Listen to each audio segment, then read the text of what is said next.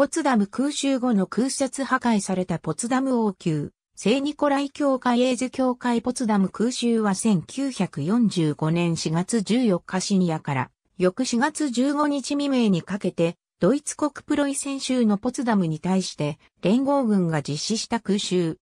4月14日夜にイギリス空軍のランカスタージュ爆撃機490機が飛来して22時16分から爆撃が始まり、約1700トンの爆弾や焼夷弾が投下された。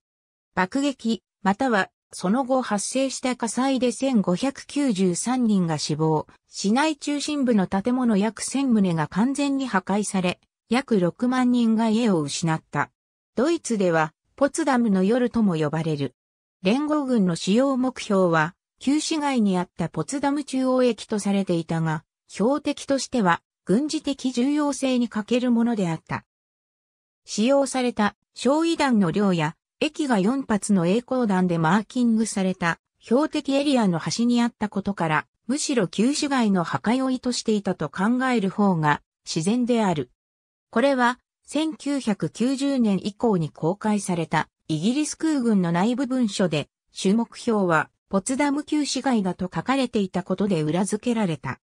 ポツダム旧市街の南部及び東部の大部分とブラウハウスベルクの北東部の被害が最大であった。ポツダム王宮や永住教会など市内の主だった建物は軒並み全焼した。火の手はベルリン郊外にも及び、バーベルスベルクの一部も被害を受けた。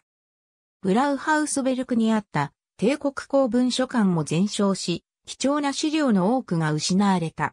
ポツダム市街中心部とベルリン郊外の建物の最大97%が破壊された。